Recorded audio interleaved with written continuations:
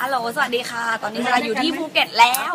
เริ่มมื้อแรกเลยวันนี้มาที่ร้านอีเป่งนี่ดูดูร้านเป็นอาหารพื้นเมืองนะเขาเรียกว่าหมี่หุ้นกระดูกหมู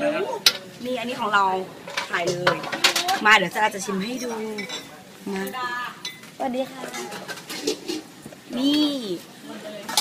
นี่คือหมี่หุ้นนะขอบอกสดาเคยมากินแล้วค่ะอร่อยมากอืม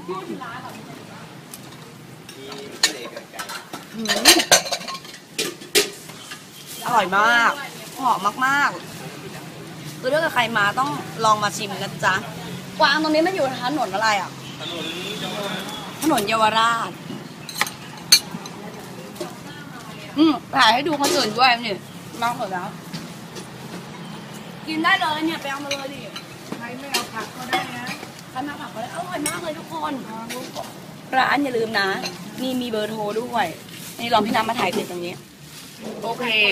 แล้วเดี๋ยวเราจะไปกันแล้วไปแล้วนั่งถ่ายด้วย บ๊ายบาย มี